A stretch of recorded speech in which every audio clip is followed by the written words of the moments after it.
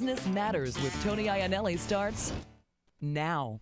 Good evening. Welcome. Business Matters. We're talking eminent domain, the taking of public our private property, I should say, for public use could be a challenge. Some people think it's increasing. Scott Mahan, problem, concern for people? Absolutely, it's wrong. Um, it, it's, it's, it's part of the Constitution, the Fifth Amendment, and the Takings Clause that, that if you're going to use property for a, a public use, obviously there's going to be times when the government's going to have to do that. My problem is when they take property for economic development and take uh, property from party A to give to party B. So are you saying we sort of moved away from what is necessary to speculation or... or absolutely, absolutely. It's, it's got totally twisted, totally out of hand. Um, uh, whereas now there's 48 states, or, or, I mean 38 states now that have passed legislation trying to curb it, trying to curb the abuse. Okay, Alan, your thoughts on that? Two words, Mark Mendelson. Okay, for our viewers, explain that. Uh, for those well, I think most viewers probably know about the horrible experience that the city of Allentown has had for far too long dealing with Mark Mendelson and the problem properties that he's generated. I think far too often we think in terms of the single property owner who's going to get fairly compensated by law uh, as opposed to the broader community that needs things like tax base, safe streets, properties that aren't boarded up, uh, devaluing neighboring properties, mm -hmm. and mm-hmm. so on. So, Kathryn, he just mentioned, made the point, he's going to, the, the, the uh, property owner is going to be fairly compensated. So, where's the rub, in fact, if they're going to be compensated? I, I think, how would you like it if I came and took your home? I mean, let, us look at this realistically. You can't just come in and, and take someone's property. That's stepping on liberties, the freedom that our Constitution has provided to us. I mean, uh, if you need roads, if you need if you need schools, okay, but for for public entities to take your property because the government says it's okay, You've just now infringed on every liberty that, that our no, founding fathers just, just found. Alan, is that happening, though, Scott? I mean, have you been party to that? Have you seen it? I've seen it firsthand. They tried to do it to me. In fact, um, it, there's been 10,000 documented cases over a four-year period from 98 to 02. And also another, another case I like to bring up is the Poletown case from 1981. They displaced, they took 20, uh, 1,200 homes, displaced about 5,000 people to build a Cadillac plant. They found out, and, and this case went to the Michigan State Supreme Court. Uh, it was overturned 23 years later in 2004, and they, they, they found out that it was wrong. That the that it's it's better to let the free market decide. Okay, so Tim, you've been doing this for quite a while. Uh, uh, uh, is uh, is it changing? Is the are public sectors becoming more aggressive in terms of eminent domain? In, some respects, yes, and there has been a backlash. That's why there was a recent change in the when law. When you say in some respects, yes, is it because they're more savvy and want to do more speculation, or, or, or why, I guess is the question? Just the growing demands of, of population population growth requires more roads, more bridges, more public property for certain purposes. And well, the municipalities are taking the lead. The okay. Supreme Court Kelo versus New London, that opened up a door, sort of gave a license to these public entities to come in and say, oh, well, the Supreme Court says it's okay, so let's go in right, and start so doing us this. viewers, touch on that real quickly, that case that you Kelo versus New London. It, it was a woman who, eh, lakefront property, and they wanted to build a public entity that they thought would be economically great for the area. And she'd had that like house. a recreational facility or something. Yeah. Okay. And, actually, and they took her house. But, it was actually for private right, let's development. Get, let's get it John. was for John, private development. John Freund, go ahead. Yeah, let, let me jump in for a minute. Uh, I, I, think that uh, in a New London case, uh, we had uh, a city there that had declined so precipitously uh, not unlike uh, some of the um, mid-sized cities that we have in our area. I think you can, uh, some of the people that work with that, like, like Alan Jennings and myself, can have some sympathy for the facts in the, in the New London case. The, the New London population had decreased uh, to almost turn of the century levels.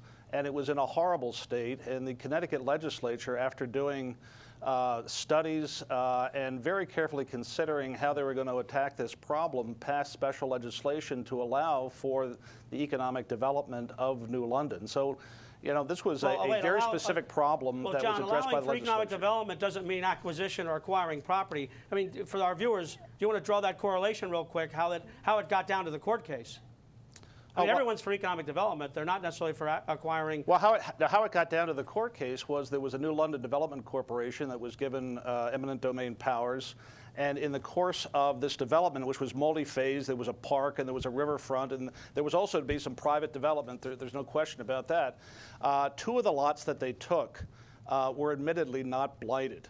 Uh, and were to be used for um, private activity. And those were the lots that were challenged, and those were the lots that um, uh, four of the five, uh, four of the nine justices in the Kelo case uh, had some difficulty with. Okay, so Kathryn, what you're hearing Mrs. there is there so was a, there was Kelo good solid reason. has to reason. give up her her American dream Okay. for a development. All right, we're going to have more about this. Stay with us. Eminent domain. It could affect you. Business Matters. Be right back. You're watching Business Matters because if it's business, it matters.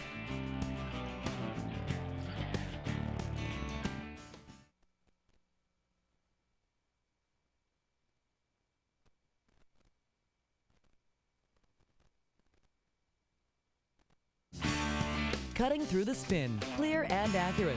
From Studio 2B in Allentown, here's Tony Iannelli. We're back. Business Matters talking eminent domain. Scott, okay, so we've heard the reasons why, in effect, some governmental entities would think it's good going forward in terms of progress. We heard Tim say that, I, or maybe I put the words in his mouth, that government is a little more savvy today and feel, in effect, that they can be more aggressive with economic development plans. Your, your thoughts or your reaction to that? Well, my, my problem is that, uh, you know, they say that they use eminent domain as a tool. It's more like a weapon in some cases. It actually uh, creates economic segregation and class warfare. I mean, it's, they're not going after, ironically enough, they, they, they're not going after properties that, that need urban renewal or that are run down or whatnot. They're going after valuable properties as a land grab. But why? Why? Why are they doing that? I mean, let, us For money. It's all- it's all money. That- that's the problem. For our viewers, they, in essence, your property they were aggressively pursuing your properties. That That's correct? right. Yeah. For what? Well, to, to for uh, new development to hand over to another private to private developer to to build new things. And in, in our case, um, all the properties are some of them are worth a million dollars, two million dollars. We have a, um, a thrift shop that benefits a, a local hospital, uh, a, a VFW post with members that fought for our rights as Americans, and they want to take uh, away the American dream. Okay, did they take it away? No, I wouldn't You let won? them. No, we wouldn't let them. Okay, the Save what- Ardmore Coalition is my All right, group, Alan, and we fought you're them. conspicuous by your silence. Does that mean Well, we just won you over in this trying to be argument? polite for once. Okay, but have But we- the system worked if you won that fight. It did, but people shouldn't have to defend themselves against the government. The Did it government cost you should- money? It costs a lot of money, and, and, and the government shouldn't be in the uh, the business of redist- redistributing property. Okay, th- so it took your time away from your Time. business. cost- Absolutely, money. time, money, and Peace and- of mind. Right, and also it makes you think twice. Like, uh, you know, I mean, you spend all that sweat, all that money, you, you, you chase the American dream, you buy something, and you think because you're in America that you can keep it, that your home is your home, when it's not. To- Okay, Tony? Tim, I'm sorry. Jo- Go ahead. Go ahead. To- John, go ahead. Yeah, Tony, you know, it's always a bad idea to make public policy based on worst case situations. Scott's was a worst case situation uh, where, I mean, uh, I mean, uh, economic redevelopment in Ardmore, come on.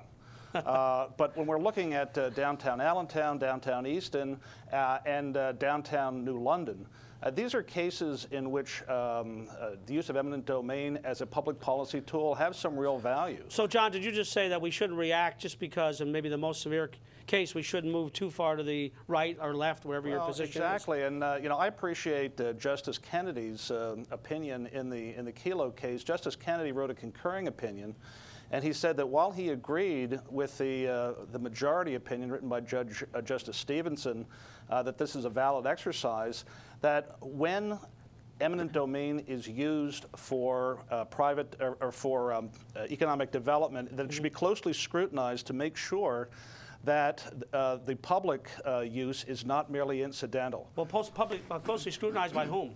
I guess that's By the, the question. courts. And again, back to the point where, where Scott had to spend real money to defend his his property. And uh, Alan, go ahead. You want to jump well, in and well, do Tony, it? he- here's the problem when you have the argument that the Fund for Growth and other uh, generally right-wing uh, people take, and that is that the rights of that individual are more important than the rights of all the other individuals in a, in a community.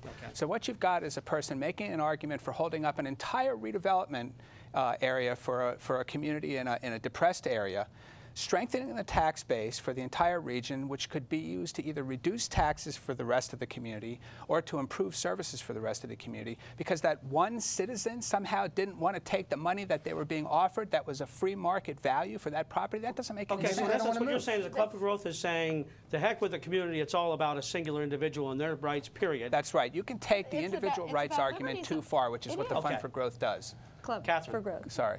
Club for Growth.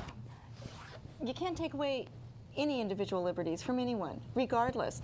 We are not a right wing, we are actually a nonpartisan organization. We believe in free enterprise, but we don't believe in taking away the liberties of, of a human being. So one single individual should be able to hold an entire community hostage because their they have the dream. right. That's what our founding fathers put. no, that's what, that's- that was Okay, what our me- let me founding get Tim in fathers were Go ahead, Tim. about. Go ahead. That's not the law in, in the United States nor in the Commonwealth of Pennsylvania. Condemnation is authorized by the Constitution as long as just compensation is paid. And it's and, and the prop, It and is. it's going to be used for a public use. Well, So in- But plain you English, should- what in the past- said, Economic Tim, development isn't a public All right, use. excuse me. So, Public- Public, what you just said is, as long as, as long as the government provides for the Constitution, as long as you're compensated,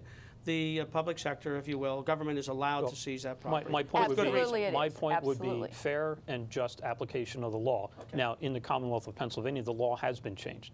You're not permitted to go after economic development for the private industry in certain circumstances, actually in most circumstances.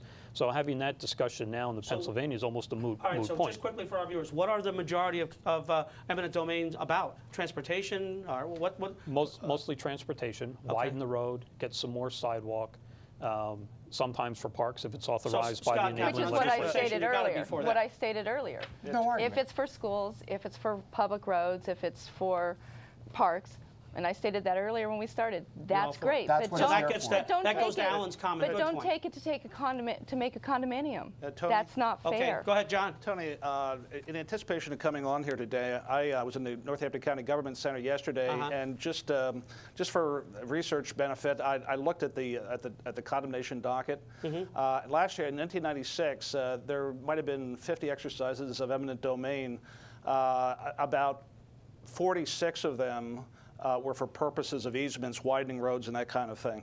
Uh, I represent a lot of bodies. Right, well, so that- what, yeah. so what are the other 60 plus percent? Well, some of them for schools. I mean, that really gets uh, into the area yeah. that, that both Kathryn and Scott are Let me- talking let me about. say this, that I'm aware of no situation, I'm a lifelong resident of the Valley, I've been practicing law here for 30 years. I'm not aware of any situation in the Lehigh Valley in which uh, eminent domain has been used for economic development Okay. purposes directly. John, did you feel like the South Mountain case got close to that, though?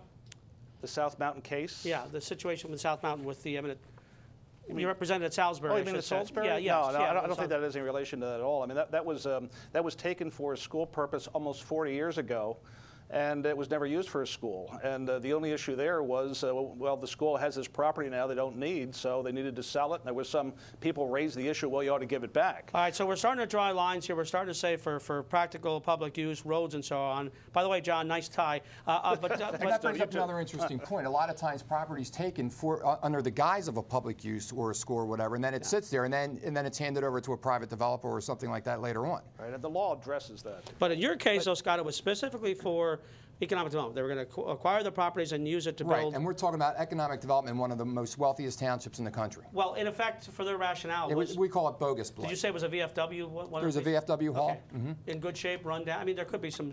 Sure, a- a- you- anything can always use a new coat of paint, but no, all the, they're all well maintained, taxes are paid, everything works fine. Between the VFW post and my store is a Chinese restaurant. Chinese immigrants came over to chase the American dream in this country wants to come and take their, their rights away. Okay, but I think as Alan said, you won the case, and and. In you're the case of an abuse, system worked. he- the system worked. He won the case. But just because Tim, it's it's moot right now, doesn't mean that the law can't change again. And I think what what amazes me is how people who support civil liberties and and uh, free market enterprise would argue in favor of taking the land for public purpose where you take it off the tax rolls and it doesn't generate any tax revenue and it is, has nothing to do with free enterprise, would make that argument instead of an argument in favor of a market approach that generates jobs, improves property values, increases the tax base, and makes the community better for everybody. So you might be talking I about mean, it's the. Want me to That's what's in the? Constitution. So if I come to you and say, you know what, I can take your house. You, you worked, you put all your memories, all your dreams were in this house, and I've decided that economic development is more important than your memories, your dreams, and the fact that, that you put your heart and soul into your house. Yeah, I think what Alan's that saying, with the proper compensation, yes. Yeah, absolutely. But it's Okay. America. What if you don't want to sell? What if you don't wanna sell? It's sometimes it's not about money. Your, your Well, life What if is you don't want to sell and it's a public roadway, though? I think uh, that we're trying to. what's that's a, that's a harder starting- pill to swallow, but but but or a harder Taking thing a to fight. private but- but property to give to a private entity is wrong. Okay, so that's the, draw. I'm trying to draw the regardless. line. with- Absolutely. All right, Regardless uh, Tim, I'm- John, I'm going to go to you, but I want Tim to weigh in on this real Well, quick. what, what Alan's referring to would not necessarily be an appropriate application of the law, because the law is there for public purpose, Okay. not to make sure that your municipality generates or has a greater gross national product within its confines. It's Okay. not there to benefit individuals, it's there to benefit the public. All right, John, go ahead, because I want to ask Alan a question as it relates to the urban core stuff. Go ahead, Yeah, John. let me just say to my, uh, to my friend Alan Jennings, Alan, you and I seem to be allies on this one. Uh, so, as, I- a as I mentioned guy, before, in the in the, uh, in the in the Justice Kennedy analysis, it really comes down to a case-by-case analysis to see whether or not uh, the actual taking is going to be for the public benefit, or whether that's just a pretext for private benefit. Um, you know, I'm, I'm concerned that this uh, the Property Protection uh, Property Rights Protection Act, which um, was mentioned earlier by Scott, that that in part came out of um, in reaction to his rather extreme case. Uh, may may um, you know limit some of our options that we have here in the valley to address some of the, the needs that we have to um, uh, All right, so to Scott, improve our city. So you're, you're rather it should, extreme it should. It situation. shouldn't, it shouldn't be easy for um, developers and whatnot. So whatnot you to do take what you people's say with no property. apologies, is that correct? Uh, no, Okay, none. we'll be back. Business Matters, eminent domain. Stay with us. You're watching Business Matters because if it's business, it matters.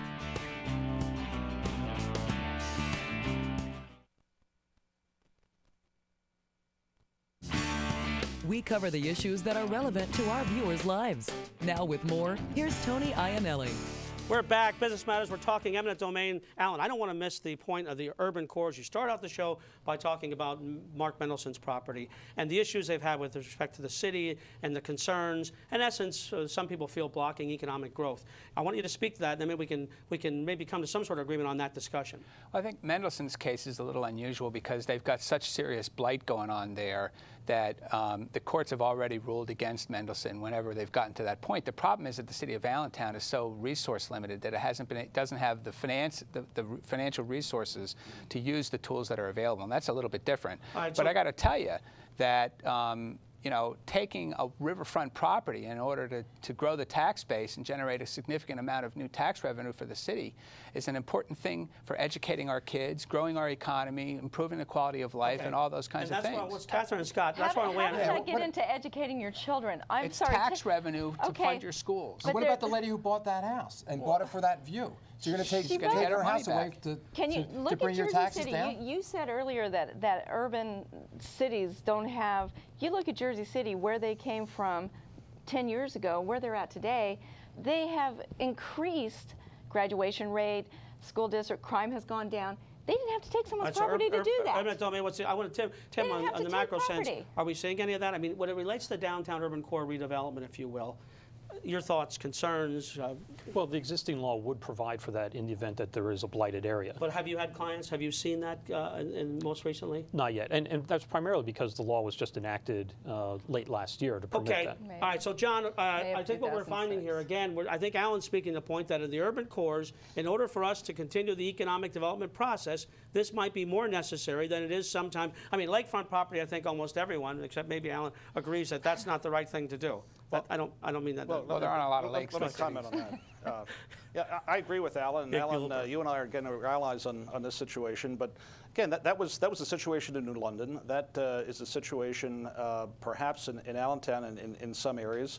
I'm very familiar with the Mendelssohn um, properties, and uh, even under the new law, the, this Property uh, uh, Rights Protection Act, there's no question in my mind that uh, they'd qualify as blighted. And there was never a legal question. So- There's never been a legal question that government has the right to take and condemn truly blighted property. Do you think it's good policy, John, for them in that particular case for government to take that property? Yes, I do. Okay, great. Any, any response? Under the law, if it's blighted, which for those who don't understand, basically an eyesore and run down, Yes. Then you're okay. Then- you're okay with that.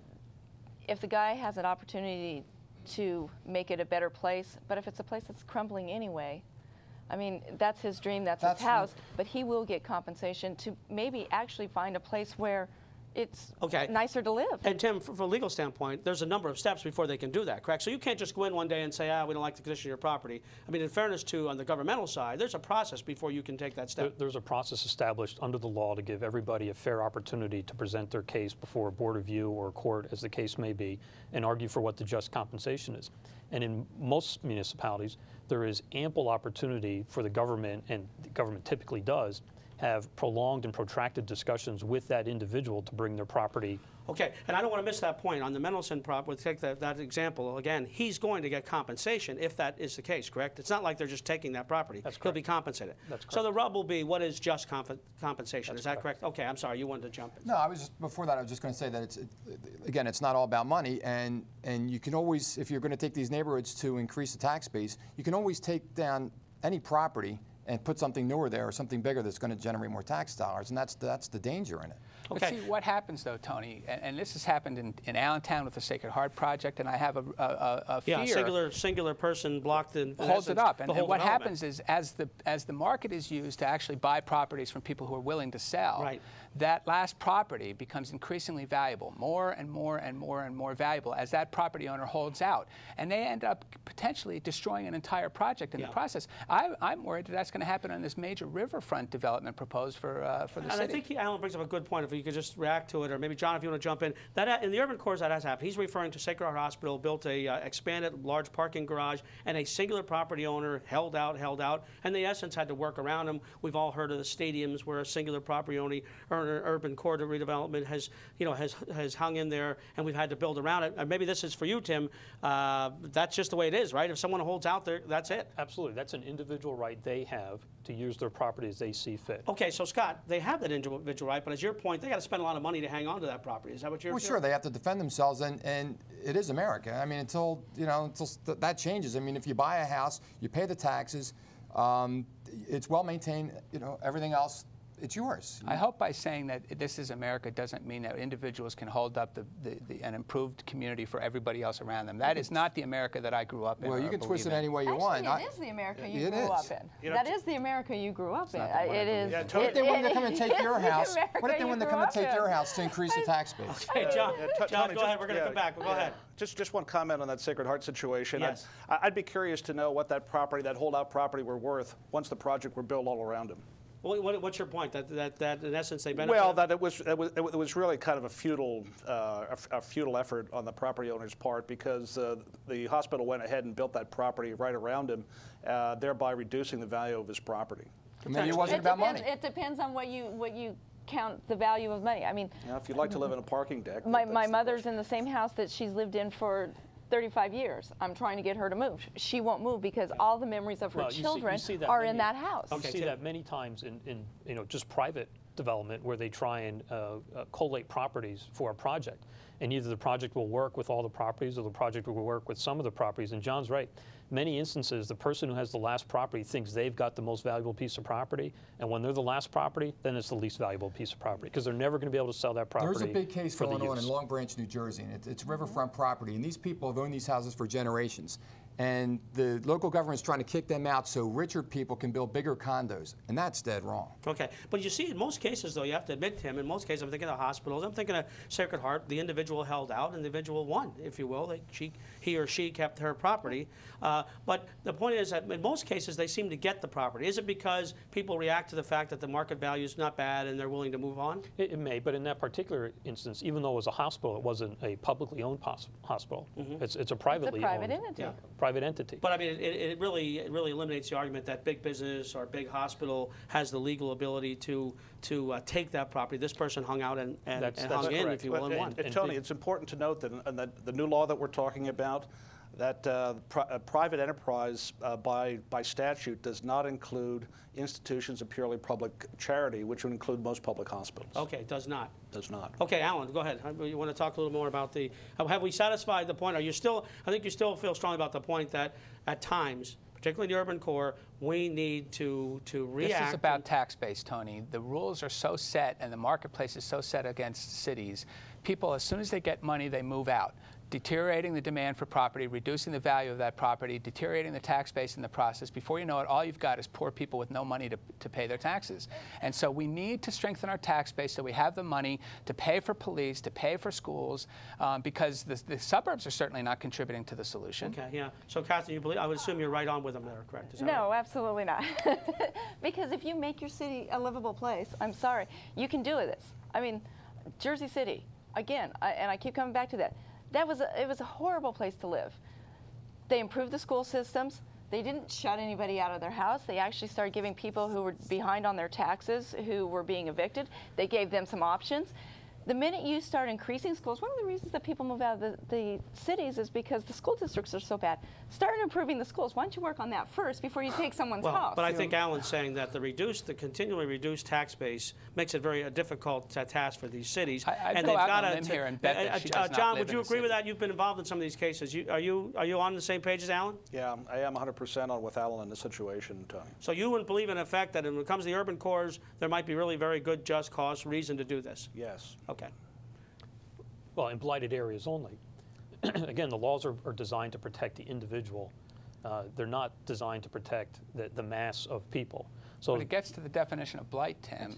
well, but in we America. agree You on can also blight. go back to We the agree on Poletown blight. case. It was the same kind of thing. It was a, What it, case was- is that? It was, it was called Poletown. It was in Okay. ni- the 1980s. It was in Detroit. And this is a case that they used as- for precedence for using eminent domain for economic development. And what they did was they took away 1,200 homes, basically destroyed the lives of about 5,000 people to build a Cadillac plant. So you're getting rid of the, the poor people or the lower middle income people to, uh, to, to fix the tax base of everybody else. And what they found out was that they were wrong. And they overturned the case 23 years later because they found out that one, it, it wasn't right because of what they did to the people, Correct. right? And it also wasn't right as far as city planning, economic planning, and, and those kinds of things, that the free market's going to do a better job of it than using the government to destroy the lives of all these people. It wasn't worth it. And basically what you're, you're encouraging there is taking the people that have less to replace, you know, take their property for the, the have mores, and that's but, not but I'm right. Sure, uh, but I'm sure the, the philosophy was we're going to build a plant, we're going to employ lots of people, and, and we're going to save going our, and it didn't work. Okay. The All right, Poletown John, go ahead. case is a bad example. That was a giveaway to GM.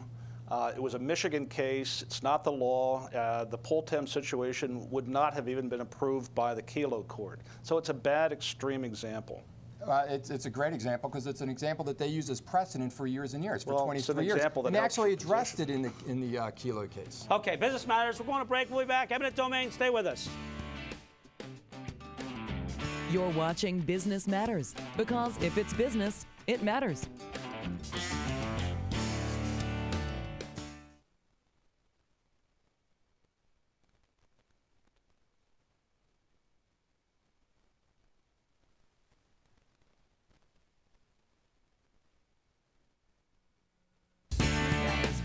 Part by Westminster Village, where residents love where they live. LANTA Metro, the smart choice. Law, Zidell, Cohen, Hoff, and Reed, serving the Lehigh Valley with informed decisions and sensible advice. And by Wachovia, made possible with Wachovia. We are back. Final segment, Business Matters, Eminent Domain, 20 seconds. We've got one minute to go. 20 seconds. Tim Siegfried, your parting thoughts. It's appropriate. It's appropriate under the Constitution. It's appropriate under the law, and it's appropriate if it's uh, used in the context uh, under the law within the rules of the law. Scott Mahan, your thoughts. It's, uh, it's in the law. It's in the Constitution to take uh, property for a public use. It's, it's, it's not there for destroying American dreams to take somebody's property away to give it to somebody else that has more money. Kathryn English? I agree. You never take away someone's private property to give to a private entity. If you look at the polls across the country, 89, 95% of the people also agree with that. You don't take private property to give to a private entity. If it's for a road, school, okay, that's under the Constitution. Alan Jennings? I think people who use the rights of individuals in the extreme to ignore the fact that community is something that makes it better for commu- those individuals to live and thrive and, and raise their families is the kind of thing that's just uh, made our cities uh, in the shape that they're in. John Freund, close us out. Well, I think it, uh, that eminent domain for uh, economic development is a necessary tool to promote the public welfare. The issue is, uh, are they bona fide uses and do they indeed benefit the public uh, more than incidentally and are not just giveaways to private uh, development? Very good stuff. Don't forget, this could affect you. Eminent Domain. Business matters. If it's business, it matters, and we'll see you next week. Next time on Business Matters. Reassessment doesn't generate more taxes. A reassessment redistributes the tax burden based on fair market value. It's a tax fairness issue, not a revenue generator for local governments. People are not stupid. Reassessments have always meant higher taxes for the average homeowner. Things are heating up on the next Business Matters.